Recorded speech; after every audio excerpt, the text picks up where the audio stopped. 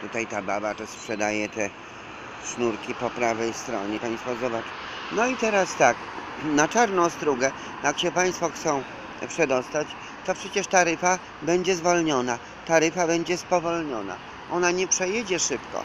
Będziecie Państwo jechali tam godzinę czasu. Tak samo jak miejski autobus MPK 140 się nazywa. Zapraszamy więc do Muzeum Pragi, bo i tak nie zdążycie nigdy. Na schadzki moherowe, póki weekend blisko za dwa dni, czyli jutro, zapraszamy serdecznie. No i że te, no i że te buziaczki Państwu przesyłamy.